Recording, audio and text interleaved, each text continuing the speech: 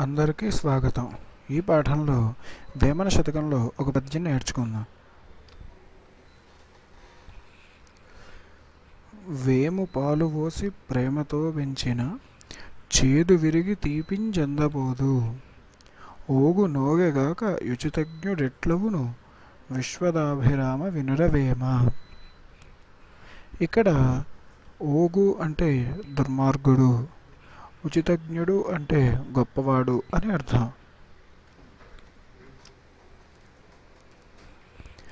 ఈ పద్యానికి భావం వేప చెట్టును పాలు పోసి ప్రేమతో పెంచిన దానికి చేదు విరిగి అంటే నశించి తీపి రాదు. అదేవిధంగా దుర్మార్గుడు దుర్మార్గుడే కానీ గొప్పవాడు కాదు. అంటే మంచి వినడు అని అర్థం.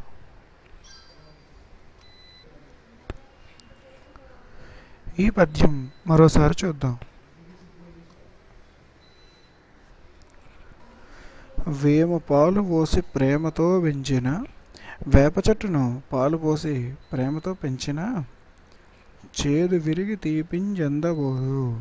దానికి చేదు విరిగి అంటే నశించి తీపి రాదు. ఓగు నోకెగాక యుచితజ్ఞుడెట్లవును? దుర్మార్గుడు దుర్మార్గుడే కానీ గొప్పవాడు కాదు విశ్వదాభిరామ వినురవేమ